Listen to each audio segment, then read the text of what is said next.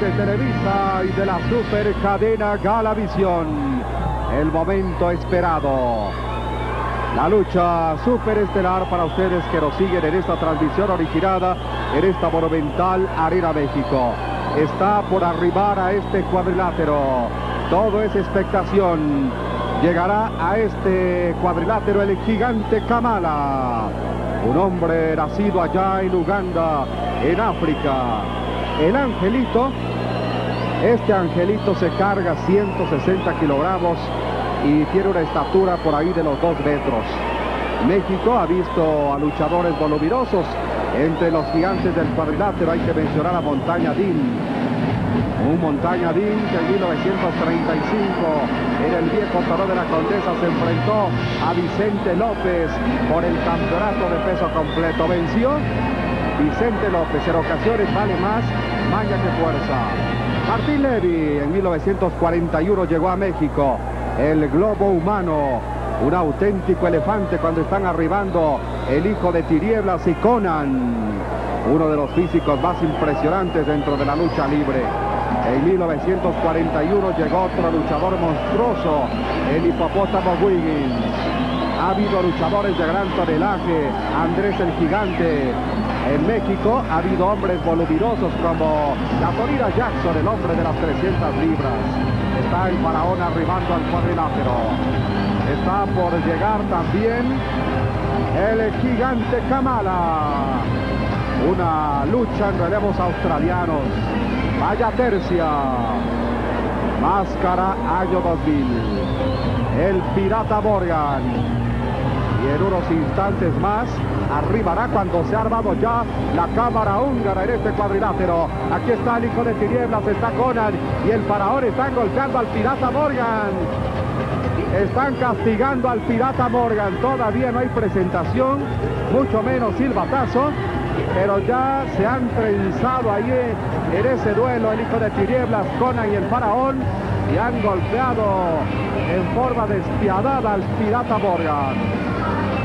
Arribará también, ahí está abajo, en la tarifa de protección, Mascaraño 2000.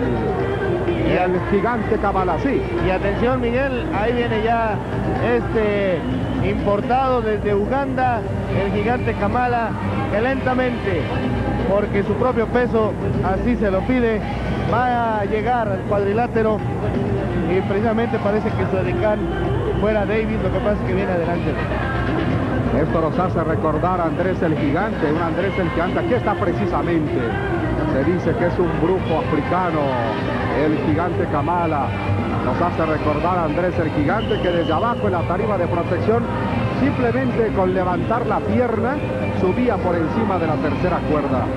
Hombres de gran tonelaje, de gran estatura. Hay una ceremonia ahí muy cerca de donde está Raúl Sarmiento. Se trata de dos bailarines africanos, una dama, un hombre, que hacen un ritual y además viene con él su manager, que no se le separa absolutamente un solo momento. Y este hombre con los ojos cerrados y la máscara está rezando y va a acercarse al ring luego de este ritual que ha realizado. Aquí está invocando a sus dioses el gigante Kabbalah, una ceremonia que siempre realizan eh, pues eh, la gente que viene con Kamala. Y aquí está la presentación. El momento estelar de la función de esta noche. Lucharán de dos a tres caídas sin límite de tiempo. Subiendo al cuadrilátero se presenta el brujo africano con 275 kilogramos de peso, el gigante Kimala.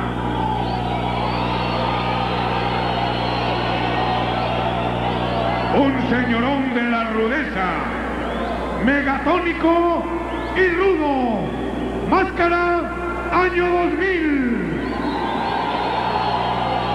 Y nuevamente, como quería ver al público, al hombre que después de un tratamiento clínico especial y gracias a su entrega al gimnasio se ha repuesto como capitán de su mando, el mejor luchador del mundo, Pirata Morgan.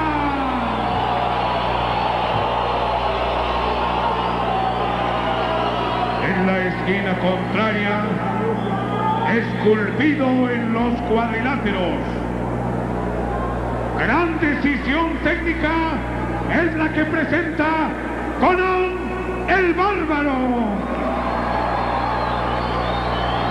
Juventud y arrojo, asesorado a la alta escuela luchística Tinieblas Junior. Capitaneados por el carisma del campeón mundial intercontinental, portentoso, técnica aristócrata, el faraón capitaneando a su bando.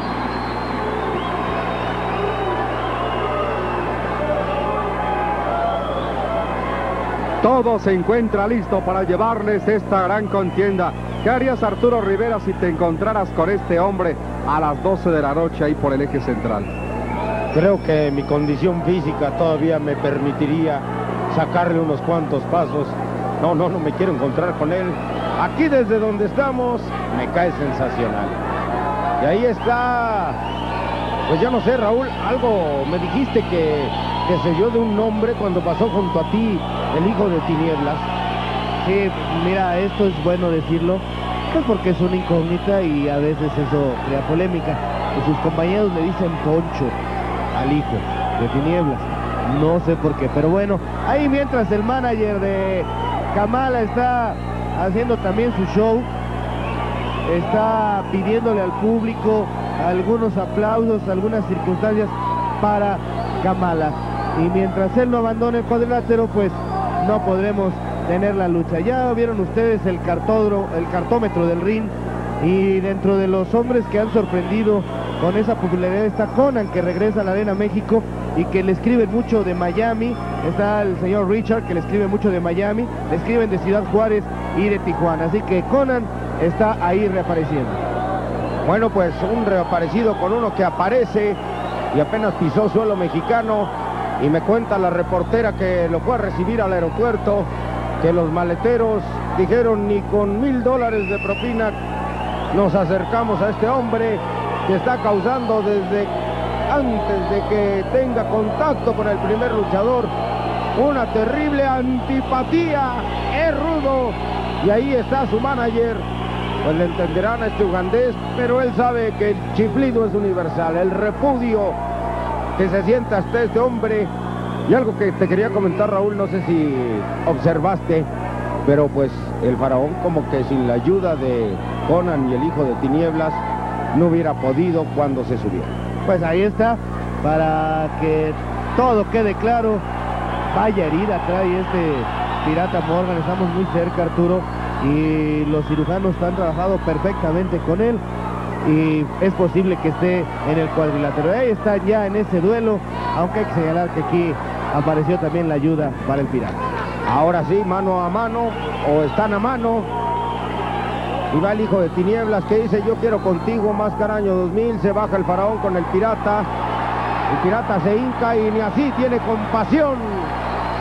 El faraón que pues nuevamente va a estrellarlo y podría ser muy peligroso.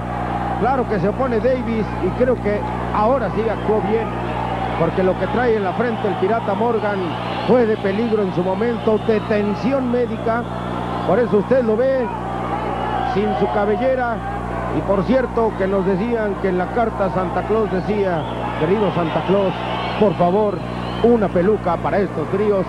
Y ahí están dándose con todo a llenar. Pirata Morgan y el faraón y los demás, como el chinito, nomás observando. Pirata Morgan, que ya tiene que tomar un poco de precauciones, y ahí está Máscara Año 2000 y el hijo de Tinieblas. Algunos criticaron mucho al hijo de Tinieblas en su pasada presentación y decían que tiene pasta para grande y hay que demostrarlo y ahí está en su presentación en un welcome a la lucha mexicana este ugandés, el gigante Kamala y Davis, pues no sé si le entenderá, pero le dice no lo haga. Pero ¿qué va a entender? Y aunque entendiera, él está feliz, está en lo suyo. Y mira quién le fue a tocar Raúl de compañeros, dos rudos que saben lo que hacen. Así es, dos rudos que conocen perfectamente esta profesión de la lucha libre y que están encendidos. Pero este Kamala pues les ha caído muy bien a los rudos, los ayuda, pone la cabeza y ahí los van a estrellar, ahora fue la rodilla, en fin, ya también Davis parece ser que trata de empezarse a entender con Kamala y ahí está la situación, y ahí está Conan. El desconcertante Conan, que fue rudo, que se volvió técnico, que volvía con los rudos, que se quedaba con los técnicos, pero parece, como dice el satánico, lo que pasa es que extrañas los aplausos. Pero Conan volvió al bando de los técnicos y la gente lo quiere. Y ahí está este gigante Kamala. Para mover el tonelaje se necesita en serio y solo se estrella contra las esquinas. Conan se enfurece y se va por más. Y ahí está una voladora, lo alcanza a mover, otra voladora. Y adiós Nicanor, abajo del cuadrilátero. Y ahí está el faraón que va por él. Pues ni se inmutó este gigante, ahora sí, pues cómo no. Y más caraño 2000 va en rescate del ugandés, le dice, oiga, la hospitalidad mexicana está reconocida mundialmente, si ya está afuera, ya déjenlo. Pues a veces se discute y se hace más abajo del cuadrilátero Raúl que arriba del mismo. Sí, así es, están abajo, que es algo que el reglamento indica que no debe de suceder, pero hay veces en que pues no se aguantan y buscan a donde sea encontrarse. Aprovechamos este momento para también agradecer a la familia Martínez que nos escribió desde Anaheim, California, a la familia Molina del Distrito Federal, también a la familia Gremí de Chiapas, de Villahermosa, Tabasco, la familia Guzmán Ramírez, a todos ellos gracias y todas sus cartas, repetimos, son contabilizadas para el cartómetro del río. Bueno, y al pirata Morgan, tú sabes que lo estiman en Houston, Raúl.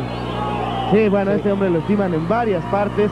Efectivamente hemos recibido ya varias cartas de Houston. Y vamos a dar eh, pues el saludo y la contestación de que ya tiene en su poder la carta el pirata Morgan de la señora Blanca Croiter de Houston, Texas. Y ahí está estos rudos junto con Kamala, que es un gigante malo, pero malo en serio.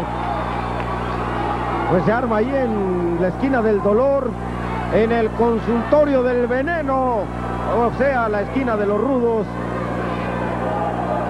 Este golpeo de todos contra todos. Kamala toma al hijo de tinieblas, al cual, como decía Raúl, cuando pasó le dijeron poncho.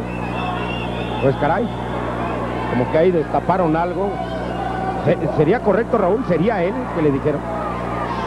Solo que le habían dicho a algún aficionado y no creo que Conan o el faraón se hayan referido a algún aficionado al salir aquí.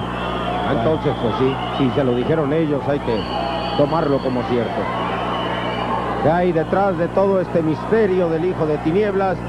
Mientras el ugandés ya abajo del cuadrilátero tomó al faraón y lo que hubiera querido hacer el pirata ya lo está logrando este hombre mientras el hijo de tinieblas sí la toma con este escaso de cabellera el pirata Morgan pero mira nada más que obsequio le fueron a dar al pirata Morgan. Le dice, gracias amigo, tú sí me entiendes. Y abajo del cuadrilátero. Mientras arriba del mismo está el único que está es el hijo de tinieblas. Y aquí está cómo lo va a estrellar contra uno de los esquineros. Vaya forma de estrellarlo contra el poste. Y el pirata Morgan, lógico, sonrisa diabólica. Y ahora más caraño 2000, también abajo del cuadrilátero estrella a su rival, que es Conan. Y ahí mientras Tinieblas quiere un mano a mano con este ugandés, de repente se aparece más caraño 2000 y así que al 1-2 está el gigante Kamala y más caraño 2000. Primero lo aflojó Kamala y viene a completar la obra este rudo Mascaraños 2000 y a volar el Pirata Morgan. Espectacular y sensacional el vuelo. Uno, dos, Tres fuera de la jugada. Uno de los hombres del bando técnico. Y ahí sube Conan, sube el faraón, que es el capitán. No, no pudo subir porque Pirata Morgan lo impedía. Y ahí está la fórmula.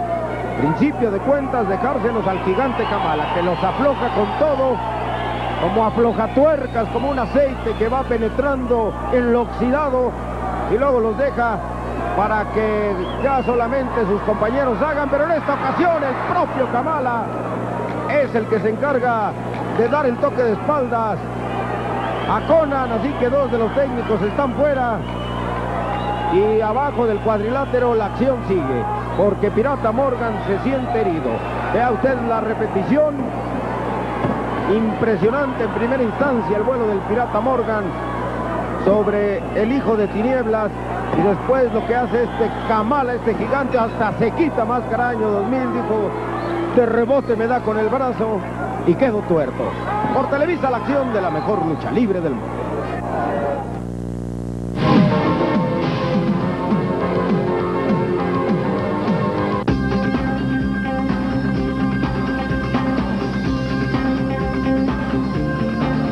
La cerveza Budweiser, pura y refrescante. Una cerveza hecha de los ingredientes más finos, con un sabor distinguido y natural. Es único de la cerveza Budweiser. Y es para usted. Este es el sonido romántico de los 20 supergrupos, las estrellas que han hecho la historia musical del continente. Este Rigo Tobar, he tratado Los Muecas, Los amor dos décadas de éxitos musicales. Adquiéralo ya en su discoteca o tienda favorita. Diga no a la piratería.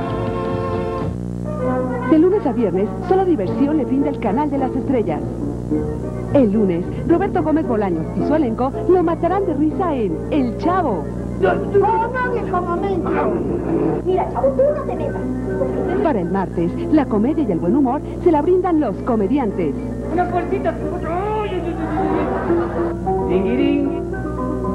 El miércoles, más enredos y travesuras con la pandilla del Chavo. No, ya nació gordo. El jueves, el único doctor especialista en señoras, doctor Cándido Pérez, con Jorge Ortiz de Pinedo y su cuadro de actores. Hasta luego, Masa. Digo, hasta luego, señorita. ¿Se puede? Y el viernes, adentres en la vida de un moderno papá soltero. Papá soltero, con César Costa y un gran elenco. Recuerde, los mejores programas cómicos solo aquí, en el canal de las estrellas, de lunes a viernes, a las 6 de la tarde Pacífico, 8 Centro, 9 Este. El lunes en Cine Mexicano, primera función. De modo terminante, exijo que esa niña se quede aquí. ¿Entiendes? Sí.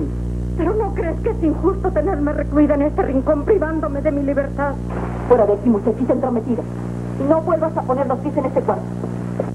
Si así es, yo procuraré por todos los medios recuperar lo que por derecho me corresponde.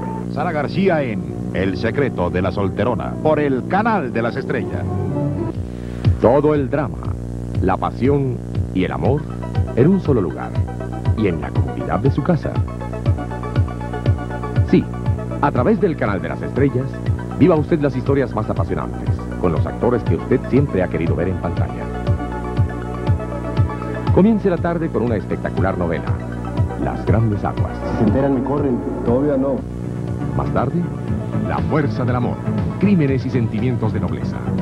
Ya no hay nada que hacer aquí. Continuamos con Un rostro en mi pasado.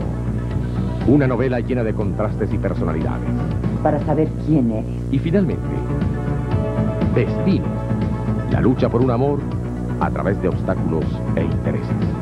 Mónica está enamorada de ti. No lo olvide, las mejores telenovelas y sus actores favoritos están aquí, en el canal de las estrellas.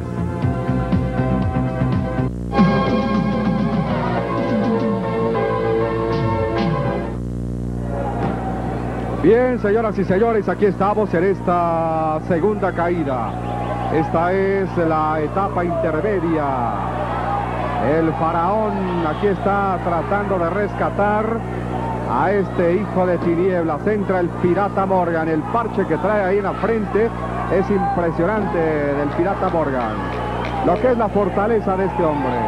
La semana pasada una lucha difícil, dramática. Y aquí está nuevamente. Ya ustedes a Máscara año 2000 tratando aquí de romperle la máscara al hijo de tinieblas. Este es el Pancracio. Que viene de latín Pancracio, un combate o lucha de origen griego todo el poder o toda la fuerza. El gigante Kamala, el hombre nacido allá en Uganda, estrellando aquí a José Luis Barajas, el faraón, en uno de los postes de este cuadrilátero. Sigue el duelo de Máscara año 2000, abajo el crocho, ¿qué va a hacer aquí? Bueno, lo está estrellando aquí contra uno de los postes el pirata, el faraón.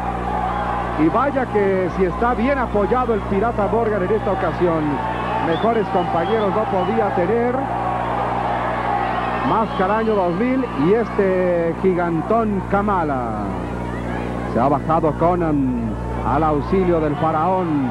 Allá llega contra el pirata Morgan, derechazo. Pero ahí está Kamala y estrella en uno de los postes a Conan.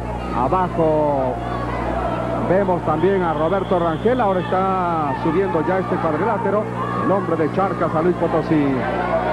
Vean ustedes a Máscara año 2000 contra el hijo de Tinieblas. Esta es la segunda caída. Proyecta ahora contra los esquineros el hijo de Tinieblas a Máscara año 2000. Se está armando aquí. Candado volador. Vean ustedes. Quiere quitarle la máscara. Cuidado. Porque si le quita la máscara pueden descalificar al bando técnico. No. Lo que pasa es que le está rompiendo aquí la capucha a Máscara año 2000. ¿Cómo ves eh, las acciones, Raúl Sarmiento? Esa rivalidad del hijo de tinieblas y lo...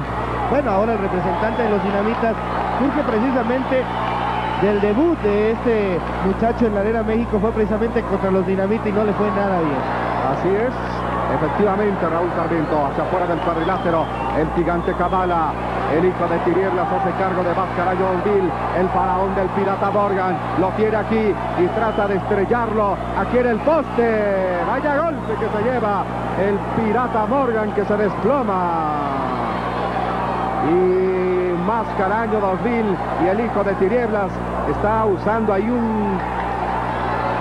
Aquí está mal, sí. Aquí está mal el, el faraón porque agarró el cable de nuestro camarógrafo de Lalo Sierra que está sufriendo inclusive, pero bueno, ahí se equivocó definitivamente el faraón y ahora le están dando también a mala, pero ahí está Conan apareciendo y poniendo en su sitio este ugandés.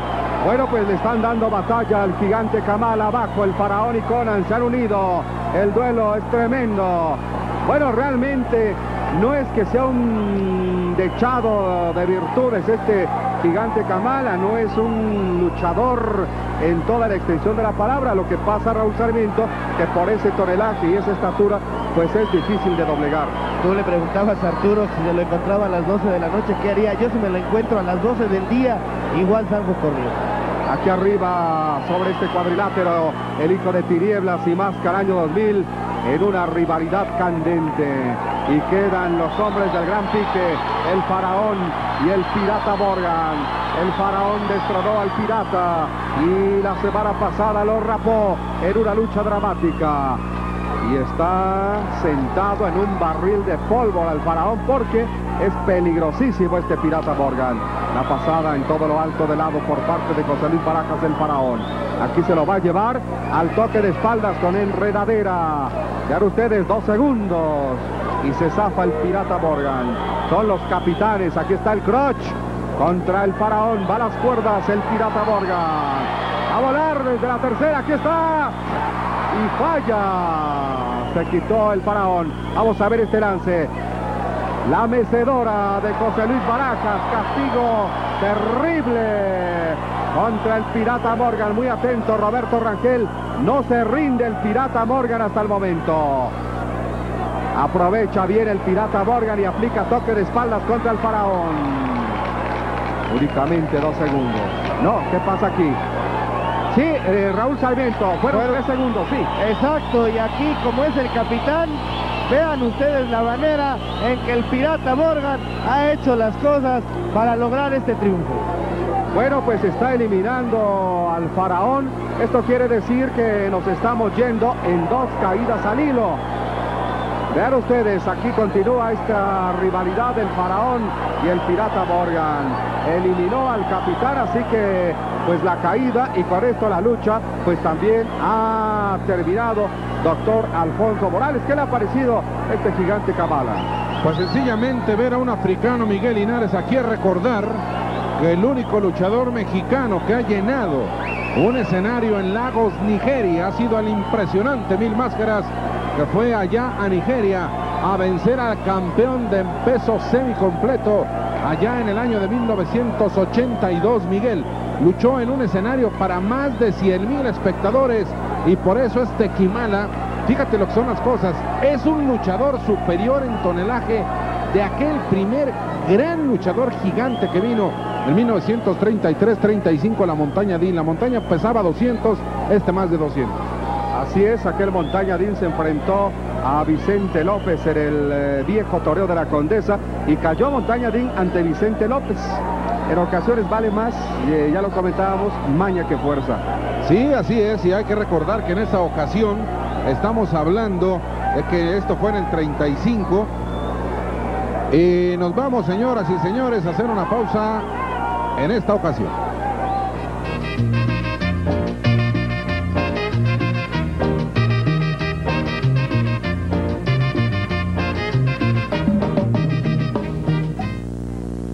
Aquí estamos en la cabina de producción de la unidad número 8, la que ha hecho posible esta transmisión de lucha libre. Estamos agradeciendo a todos ustedes su atención. A nombre de nuestros productores Ramón Reyes, Miguel Ramírez y sus comentaristas. Eh, Arturo Rivera, Miguel Linares, Alfonso Morales y su servidor Raúl Sarmiento. Les damos las gracias. Hasta la próxima.